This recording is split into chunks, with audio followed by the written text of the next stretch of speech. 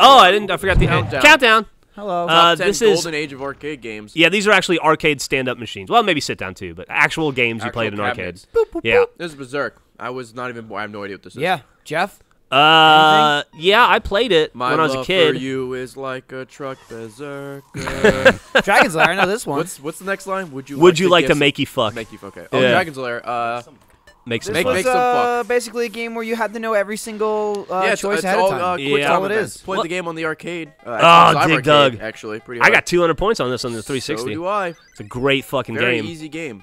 Most There's that don't one achievement where you have to clear th- all the dirt. Yeah, you got to clear all the dirt. It's That was kinda like, annoying. glitchy for some reason. Yeah. I remember having to watch like a Dig guide. Dug is a fantastic game.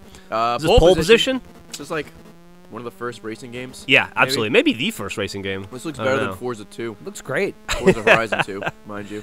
I Did uh, we do a Let's Play in this? This game was Yeah. fun as dicks. Do Yeah. another Yeah. fuel, It's a Centipede. Yeah, you uh, shoot the shoot the bugs. Watch out for the spider. That guy will fuck you up. dude.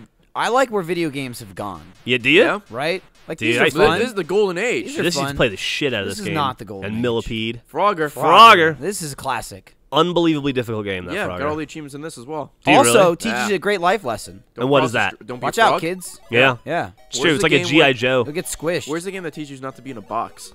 uh, I'm not sure. Barbara didn't play it. It's true. Uh, asteroids. All right. Yeah. Shoot the asteroids. Shoot the asteroids. You're the triangle. You spin in a circle. You shoot Say, the other uh, shit. It's not even. There you go. It's a poor man's Geometry Wars. I mean, Geometry Wars 3 is coming out. What would you want All to play right, this? now this is a classic Fucking here. Donkey Donkey Kong. The objective now is to go up. Yeah, you play as a uh, Jumpman. You don't play as Mario. It's true. or not.